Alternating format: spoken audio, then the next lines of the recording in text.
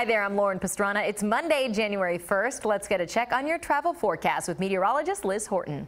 Well, wet in the southeast over Florida, especially as that frontal boundary has come on through and temperatures will be cooling as well. 30s out there for most of the southeast, 50s though in Tampa, getting much colder in the northeast. Look at these temperatures, 20s and teens out there from Cleveland all the way down around to Philadelphia and DC.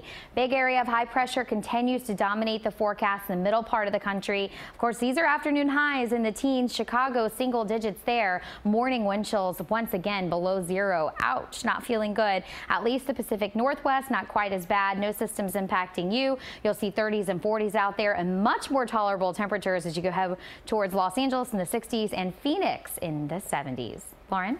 All right, Liz, thank you. Now, what's moving you to be healthy and happy? We know how tough it can be to work exercise and fitness into your daily lives, and that's why every Monday on CBS 4 News, we're highlighting stories about what's moving you. Today, anchor Eugene Ramirez introduces us to a group of seniors who are finding longevity and friendship in free group fitness programs. You just can't help but move to the music at the Senior Center at Charles Hadley Park in Miami. Through CBS 4's Moving You campaign, I met Earlene Maurice. I joined her and other seniors age 50 and older for their three times a week fitness class. And let me tell you, it's no joke. Earlene's been coming here for 13 years. I was, you know, had back surgery and the doctor told me that I had to, you know, continually move and so that, that's why I started coming here and to keep active and keep my bones from being stiff. The class starts with a series of stretches.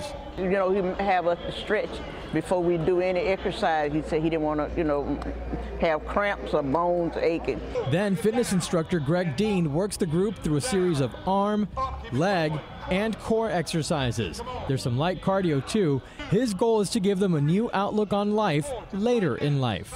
I'm looking for longevity, and I know exercise is the key diet, exercising, and not being lonely, being around somebody else. That helps enhance your life and also helps motivate you to, to make you keep going. The program started back in 1990. 90 year old Mary McCrae was there. I heard you were in the original class. Yeah. Why do, why do you keep coming back?